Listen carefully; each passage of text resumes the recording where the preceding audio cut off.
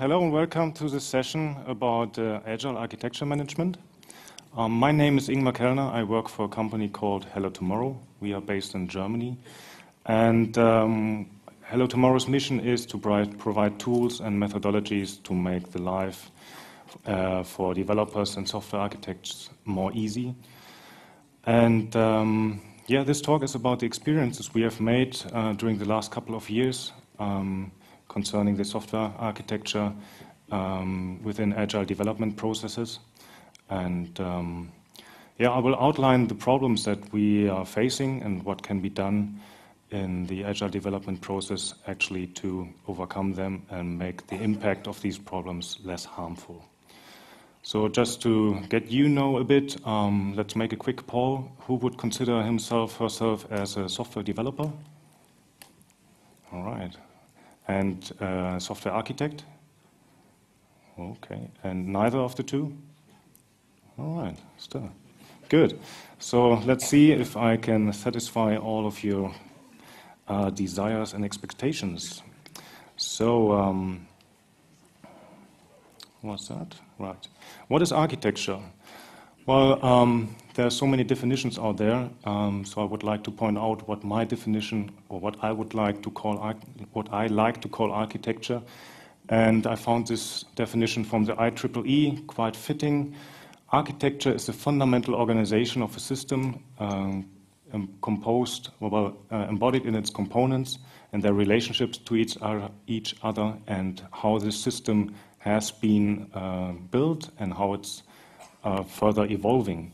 And I think that's uh, quite visible here in this picture of this artificial city. You see a recurring pattern of this elliptic shape, and you see how these, or you see clear borders, you see streets, and you can, could imagine how the city would evolve over time in the outskirts here and uh, grow larger. Right. So, and um, well, the dilemma that we are facing as an architect is that basically at the project start, there's a huge number of decisions to be made.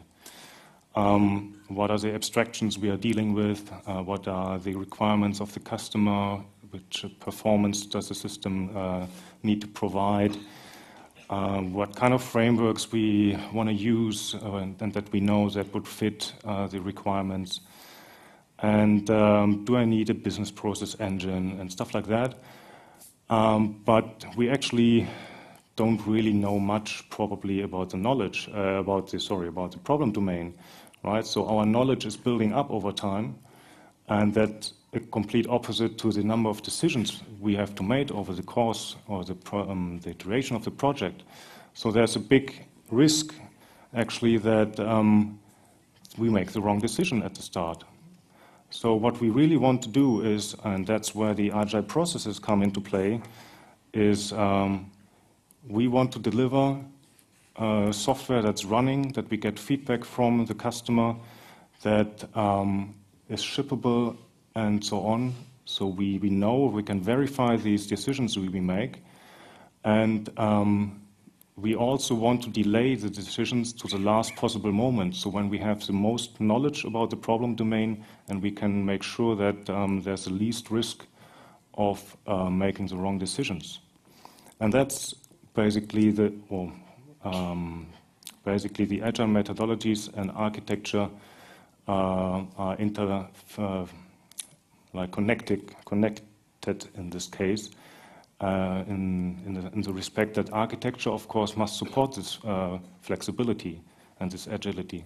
If I have a new uh, requirement coming in and the architecture is not prepared to fulfill this requirement, um, I can't really make use of the agile development process and, and sh ship after the, the, next release in, in two weeks' time. So I really need to prepare my architecture to support this agility. So let's see what are the biggest uh, problems that we are faced with. Um, why is it uh, a problem? Right? What is our biggest enemy? So um, you probably are all familiar with the increasing complexity over time when you're building a software uh, project.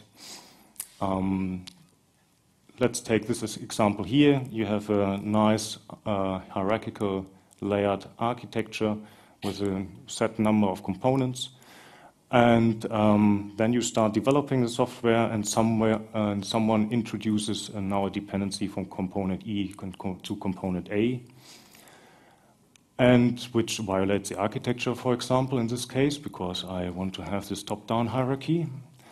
And um, then someone introduces more dependencies uh, between components which are actually compliant to the architecture, so they are now here green. But oftentimes nobody really checks if they are violating dependencies introduced in the system. So what's really the problem is not that the growing number or that, that the number of components are growing, but the number of interconnections that are made between these components. So what you really want to control is the dependency architecture that you have within your system.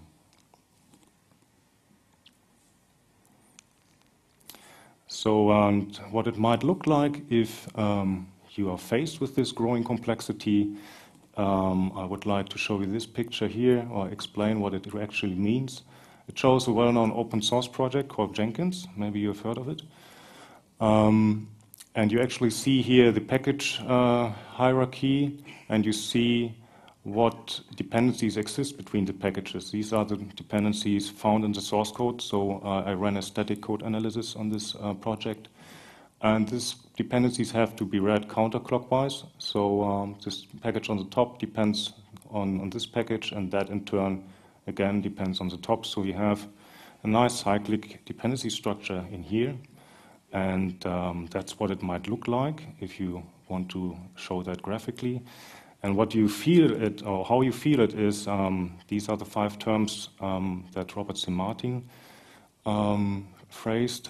I think um, he was the first one. So, immobility means uh, software is hard to uh, decompose in reusable components.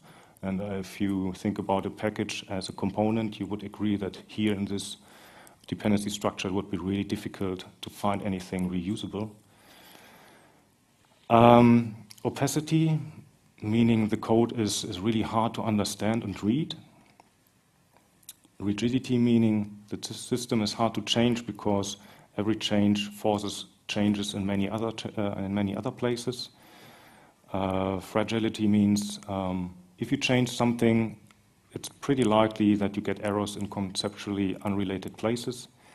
And viscosity, uh, the last point, means um, it's easier to do something as a quick fix which violates the architecture rather than implementing uh, something that's fitting the architecture that's, uh, the, that was planned in the first place. So the root causes of that, um, these uh, kind of erosions um, are listed here. So most, most of the, the projects we have seen, um, this is happening because obviously system knowledge and knowledge about software development, about architecture is not evenly distributed in the team. So there are some people knowing a lot, have been working on the project for a long time, others are coming in, haven't seen um, the history of the project, uh, maybe copy paste some code that is not complying with the architecture, and they just don't know that uh, what's right and what's wrong.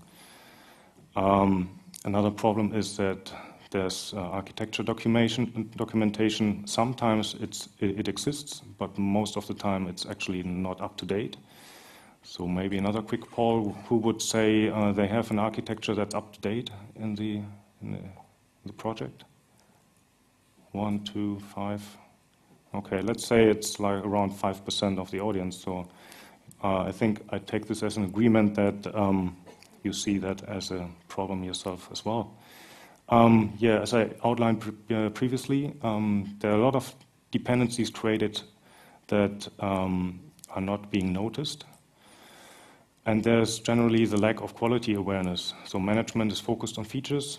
Uh, even the agile development process um, enforces that view. You want to have new features every two weeks or uh, how long your um, development phase takes or your cycle um, iteration phase takes. So every now and then you want to release something new, and it's all feature-centric. It's less uh, quality-centric. So um, that's a big issue as well. And obviously time pressure. If you're near the deadline, you do something, quick hack, and then um, the management sees, well, the functionality is there, it's working, why should I pay for the refactoring? to make it more, more readable, for example. And there are the laws of software entropy, which uh, two of them say that um, a computer program that is used will be modified because there are new requirements coming in and bug fixes to be made, for example, so it will be modified. And when a uh, program is modified, its uh, complexity will increase.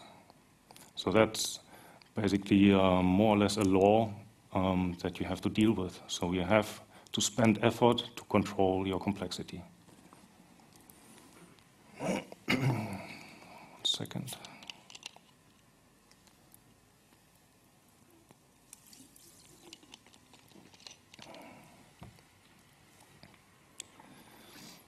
Right, so how do you get back in control? Well, there's um, only one thing you have to measure and you have to run some, some code analysis on your code base to see if there's anything happening that you don't want to happen. And actually, that's what um, led to the foundation of hello2morrow. So, our CTO had the project in his previous company that he, for a major German um, automotive company, he had to control the dependencies between modules and um, he didn't want to do that manually because it's a really tedious task. So he wrote a, a code analyzer for that. And um, in the end, our CTO and um, uh, our CEO decided to make a product out of that. So that's how our company was founded.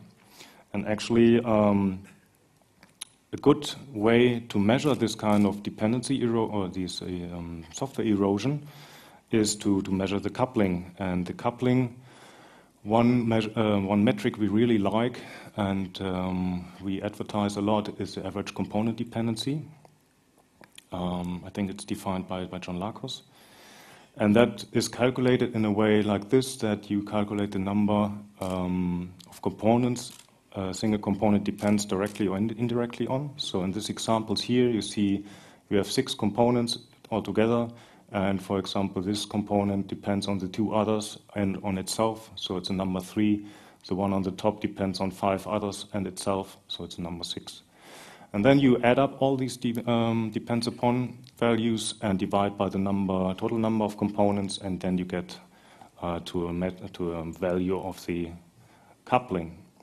And you see here, if I reconstruct or if I refactor my code base to use uh, the dependency inversion principle, I can actually reduce the coupling by turning around these dependencies. And you see that now the, uh, the average component dependency goes down to two, which is an improvement. And so you can actually kind of mathematically prove that um, uh, frameworks like Spring actually do something good for your coupling. Right? And um, here on the right-hand side, you see that someone um, introduced a dependency from the bottom to the top. Maybe he wanted to use some, reuse some constants or some, some methods. And he actually created two cycles here, one on the left-hand side, one on the right-hand side. And the, you can see that the depends upon values go up a big time. And now you are, have, a, have a value of the average component dependency of 4.33, which is actually very much on the way to the negative optimum um, or maximum of uh, the value 6. So what you really want to look out for is um, cycles between your uh, elements, between your components. And uh, a metric to do so is to monitor the average component dependency because that will be affected a lot if you introduce cycles in your systems. And why are cycles bad? Well, consider the impact they have on the agility.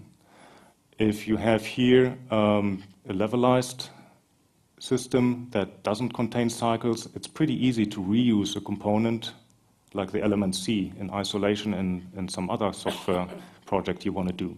You can also use uh, or test this in isolation. You can test element B and element C together, and um, it's really easy to understand, or it's easier to understand the system because you have a clear entry point, and uh, with these kind of levels, you know where you are in the system, more or less. And um, yeah, on the right-hand side, you see when you have a cycle between these elements, I mean, there's no way that you can reuse each of these packages or classes, or components, whatever you call them, it doesn't matter if they are contained in a, in a cycle, reuse is not an issue, uh, is, is not possible because, well, you can't, you can reuse only uh, the whole thing. And um, yeah, of course, build and release management is also an issue because um, they all have to be shipped together, all have to be released together. Uh, there's nothing you can do about it. And uh, the last point, team building, yeah, if you want to define um, or want, if you have new people coming into your project who don't, um, let's say, know much about the domain, here you could let them work on element C, so they don't have to know much uh, about the whole scope, but can work on this in isolation. Well, um, don't put anyone here that doesn't have detailed knowledge about what he's doing, because obviously element B and element A depend on that element C. So if you introduce an error there, um, it wouldn't do any good either. But I guess it, it becomes clear that um, you really want to look out for cycles um, in your software. So um, here's an example for, uh, for structure quality. Uh, I pick Spring because um, they use this, or they are like famous for the dependency inversion principle, right? So their coupling should be low. And um, yeah, they, they have like a scope of around 20 projects, uh, which are modular, uh, built on top of each other. So you don't have to reuse the whole thing if you are only interested in some parts of the functionality. And there's only a package cycle group um, of, of, um, of eight packages. That's the biggest one. There are in total 12 packages involved in cycles. And the cycle group here um, uh, displaying this uh, biggest cycle group.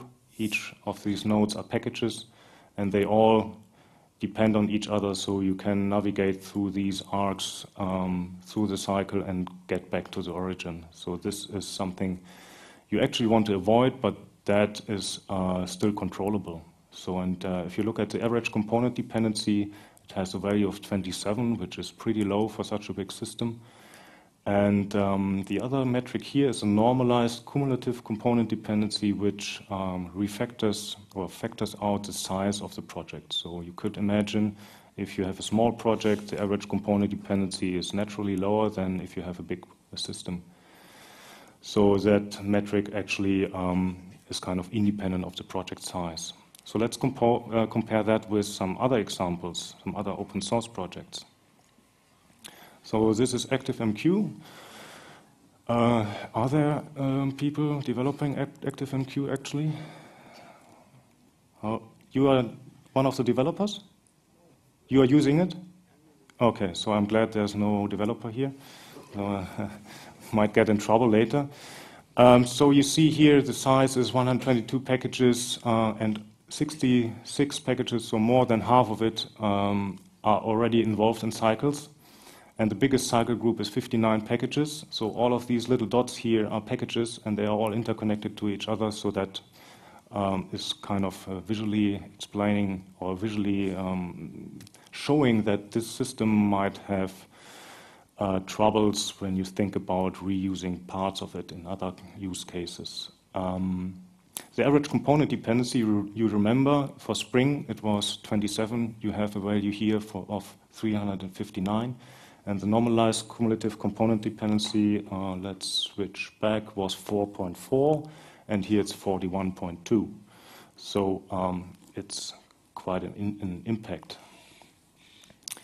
If you look at uh, Jenkins itself, uh, I showed you in the other graph before. Here you see um, you have 41 packages involved in the biggest cycle group out of 62 packages uh, that comprise the Jenkins, and you have an average component dependency of 445, and the normalized cumulative component dependency is also around about 50.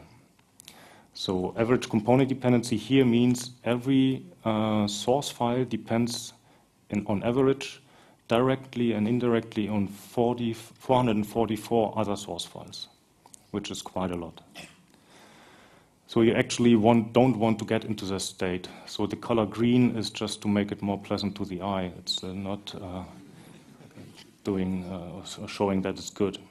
So um, and the last example is the JDK. Um, 852 packages in total and uh, 36 package cycle group, biggest one, 346 packages. And um, yeah, uh, there are some little white spots here, which you can say is a good sign.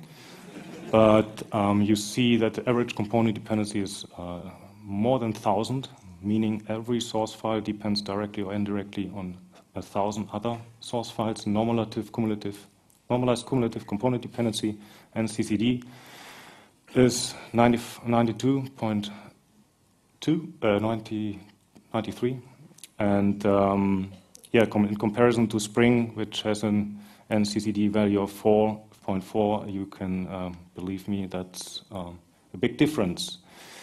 So, and yeah, this is a kind of provocative question here, if there is any link to the Jigsaw project, why this modularization of the JDK is such a big effort to do. Um, yeah, I think you heard maybe in other talks that they're doing a, a, a good, or they, they are trying to fulfill this um, really big task and uh, making some progress. But let's hope they get that timeline um, realized, that they get this finished by 2015. So um, maybe it's interesting to see how these package cycle groups evolve over time. So here um, I plotted the values or the different versions of ActiveMQ with um, number of packages in total. The biggest, biggest package biggest package cycle group, sorry, is the one here on the bottom. And here you see the total number of cyclic packages. So here at, with the version of 5, uh, I think ActiveMQ introduced uh, or used Camel, so they got rid of a huge code base. So that's why the total number of packages is dropping big time. But you can see that the, um, the biggest package cycle group hasn't declined as much, right? It's only being reduced by, let's say, five or six packages. And um, you can imagine that if you have a large package cycle group of uh, or more than 40 packages, it's really tough to actually cut some of these dependencies and reduce this cycle group. So um, our experiences is that if you have a cycle group in your system, uh, it will grow, and you should really avoid, in the first place, of having such a cyclic dependency. Right, and um, while we were developing our product, the static code analysis tool, um, we have developed um, a view that actually layers these uh, packages and then shows the dependencies. So we um, created in such a way that the ones with the most outgoing, outgoing dependencies are on top, as you would expect, and the most uh, the, the ones which are, have only incoming dependencies are on the bottom. So it's a layered uh, representation. And, and then, and you have to read the dependencies counterclockwise, well, and then if there are any if there are any arcs on the right-hand side, that's already a sign that there's some some cycling, uh, some cyclic dependency going on. And, and then we thought, well, um, if that's already a bad sign, then we can calculate um, how much or what has to be done, what actually, what kind of refactorings have to be made to make this structure uh, clean.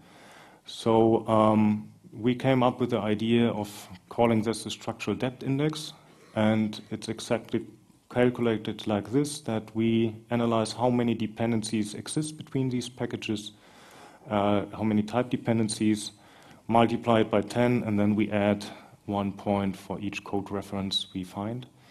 So, and then you end up with values that give you a, a pretty good idea of what kind of um, amount of work you would need to actually get the structure clean and some of our customers even dare to do to assign um, uh, a time or a money figure to each of these points. So here's a summary of the work that need, would need to be done, probably, or let's say these are just the figures.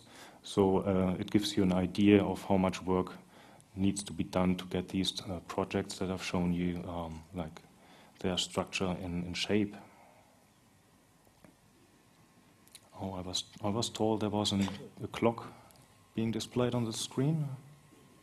Yeah, I just see black. Does it mean I'm out of time or no? Good. Just kidding. Um, okay, so how do we get out of this? If uh, we found out that we have cycles, um, if we painted ourselves into the corner, how do we get out? Well, there's only one thing, you have to refactor. And um, this is one example. So let's pretend this is a, an alarm clock application with a presentation and model package. And you have here the main class bootstrapping the whole thing. And then you have the, the, the model doing the, the timing. And then you have two uh, different implementations of an alarm handler, one displaying the alarm to the console and the other one writing to the file. And um, yeah, you have you see here that the alarm clock depends also on the alarm handler, so meaning that you have a cycle between presentation and model with all the negative effects that I uh, explained before. So what would be one way to refactor that is to introduce a callback interface in the model and actually turn around this dependency. So uh, the presentation now depends on the model and the alarm handlers actually implement this interface so you could reuse the model in a complete other uh, project without the presentation or change the presentation uh, completely and uh, refactor that. Okay, this is one situation. Another situation might be that you have a cycle between uh, model objects. So here you have order and customer, and customer has a reference to order, and um, the order knows about its customer. So here uh, we would advise to think about levelization. So uh, the customer can exist without an order, but an order always have to have a customer. So what you really would like to do is cut this dependency from the customer to the order. And uh, one possibility would be to introduce uh, a static method in the order class and um, provide the customer as a parameter, or uh, create a new controller class in another package so that the dependency of the customer to the order is removed. Uh, one other trivial refactoring actually is uh, here, or would be, to move this uh, class into the presentation layer, right? I mean, that would be trivial and not the correct way, probably. But oftentimes, classes are just in the wrong package. So uh, just a simple move refactoring uh, sometimes solves the problem as well. So these are two refactoring examples um, that show you how cycle dependencies could be removed. Right. So as a takeaway, uh, cycles have a negative impact on testability, re- uh, extensibility, modularization, and overall you can say they have a big impact on the agility. So you want to watch out for them. Cycle groups tend to grow over time, and um, we think that cycle groups uh, of packages are a big structure smell. And um, yeah, I, I, showed these graphs of the other projects. Um, I want to stress here that uh, high coupling and cycle groups doesn't mean that the software cannot be successful. It's just it has a negative impact on the maintainability, and new features are probably uh, not e as easy to implement as it would be if you have a cycle-free structure.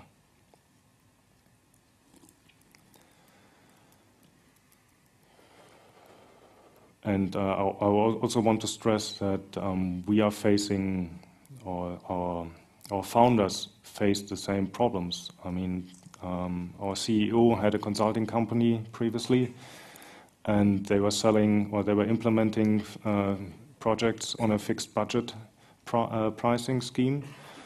And um, while they, found, they discovered that the development process or the speed of implementing new features was declining pretty steeply over time. And naturally, you would think, well, if you have already a foundation and a framework built up, and you want to implement new features, it should uh, the actual development speed uh, speed should uh, increase over time and not decrease. So that's where they started to look into all these quality management issues and and found out about these metrics and, and stuff like that. So it's um, it's something you have to be aware of and, and something that you actually want to uh, have to accept and you want to deal with. And everybody is facing these problems, so nobody can say, well, he's Mr. Genius and uh, can develop software that's completely structure free if he doesn't pay attention to the quality.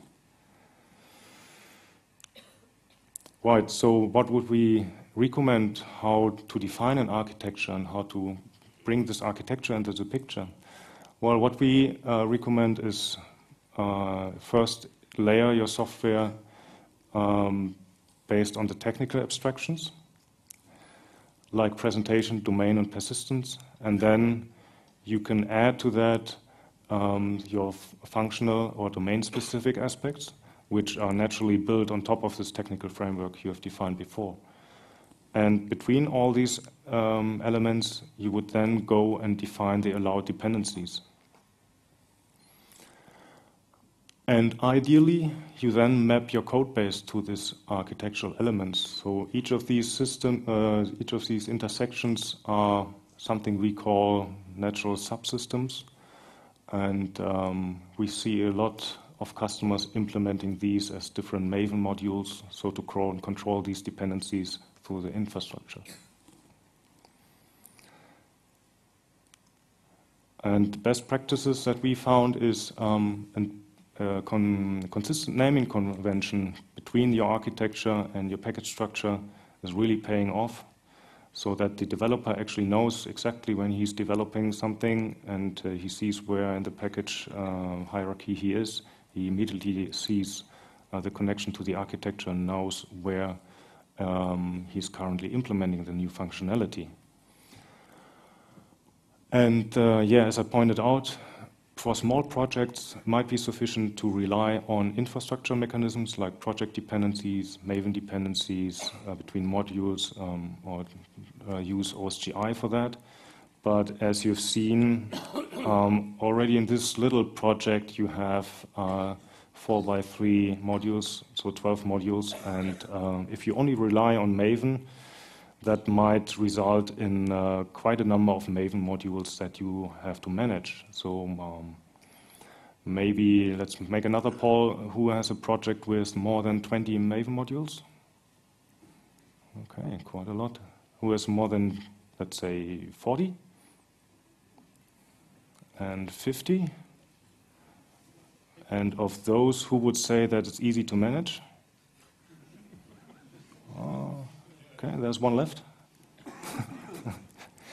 okay, so you would agree that maybe uh, pushing these um, architectural dependencies down to the infrastructure is not the ideal mechanism all the time, especially if you don't want to deploy them differently, if you don't version them differently, if they are shipped all together in, um, in any case. So why putting them in different modules?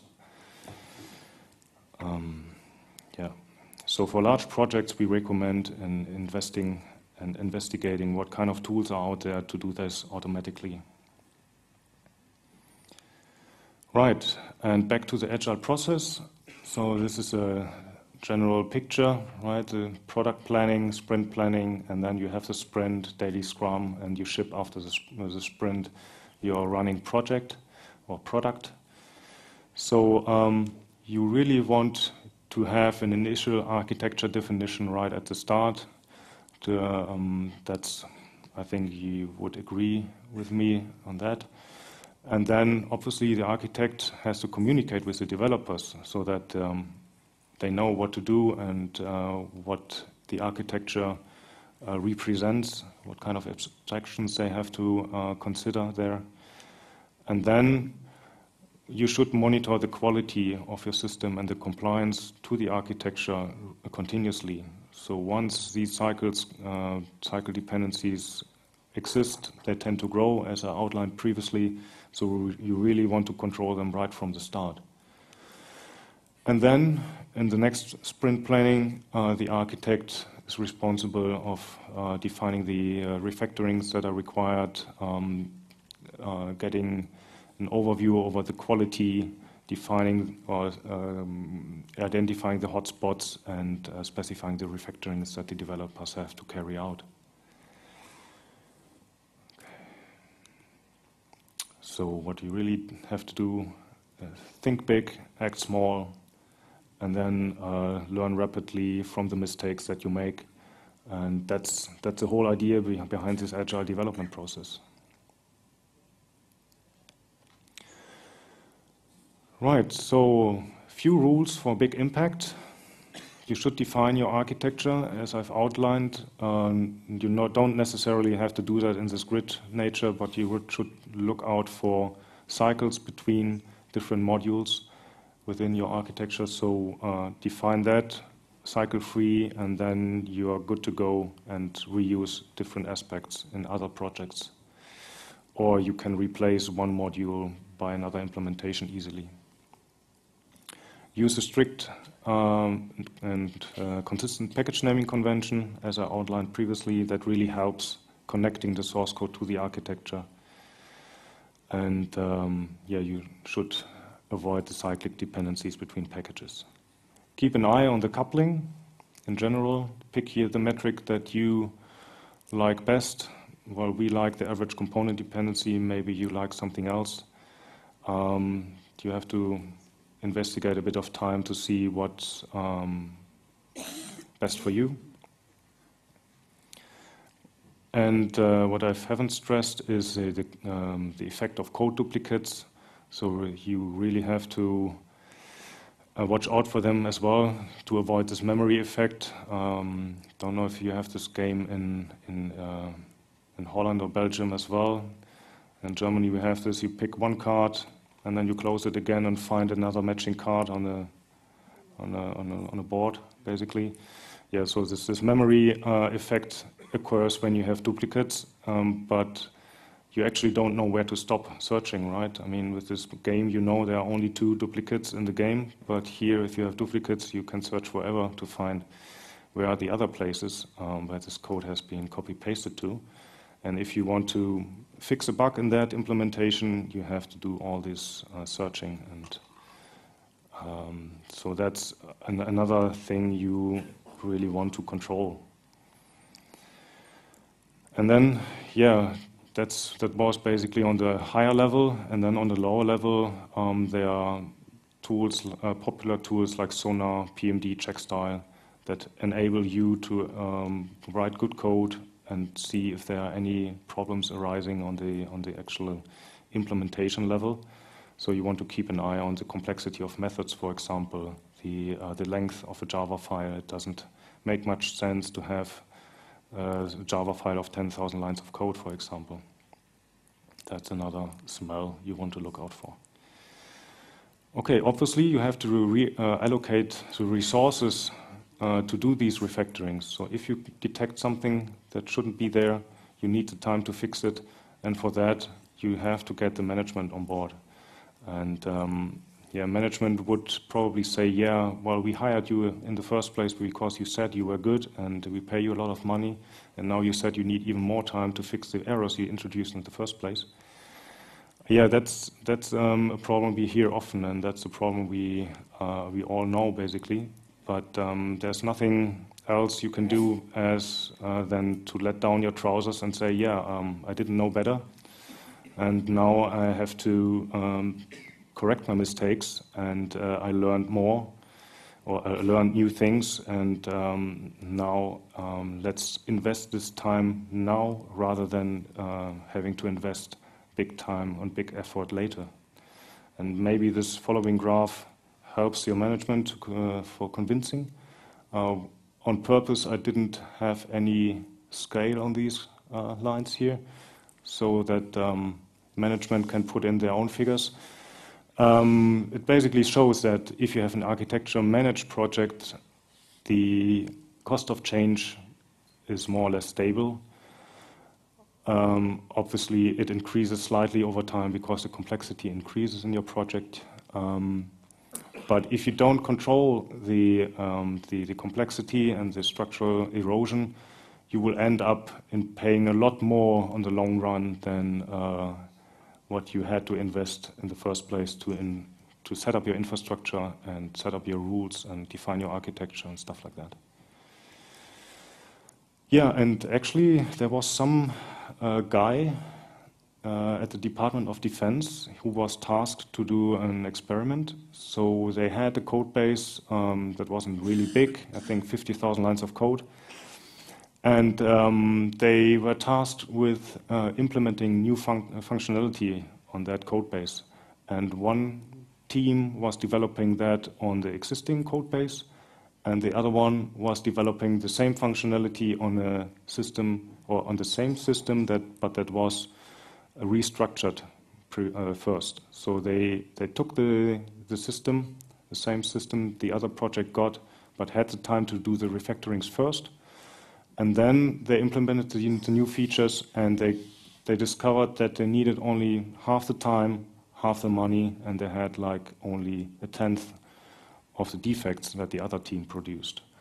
So um, we also get the feedback from our customers that after they implementing implemented the methodologies that we recommended, that they have uh, a re reduction in uh, maintenance costs of about 50%. So that's quite big, and we were surprised to, to hear this positive feedback. And um, maybe that's some argumentation you can um, convince your management with. Okay, so that's about it. Uh, I think I'm pretty good in time, aren't I? How many? How much time is left? Five minutes, five to ten minutes. So if there are any questions, um, happy to answer them here. I'm uh, around at the conference for the whole day. Um, we actually have a booth downstairs.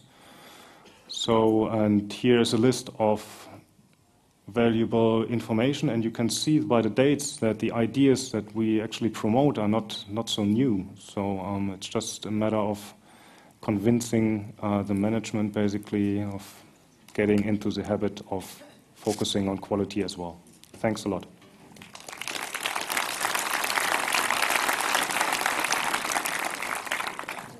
Yeah, I have a question concerning the metric. Yes.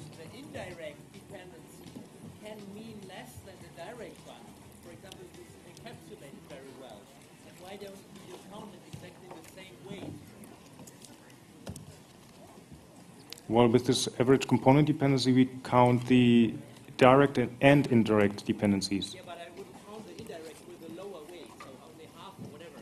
That's what I'm surprised. Okay, maybe we can detail that offline. Yeah. One question, basically. Uh, for new projects, this is a brilliant approach. Uh, now, if I inherit a, say, 10-year-old code base, what approaches to refactoring or tool support or there? Yeah. So the question is, the, or the, the comment was, it might be a nice approach for new projects, but what is about uh, if you have a 10-year-old project and have to deal with the eroded structure? Well, then um, you could actually, with this quality tools, we have one on our own. Uh, you can define your target architecture and see actually where your code base deviates from the goal, and then you have at least a goal that you can work towards too. And uh, you can make sure that it doesn't get worse.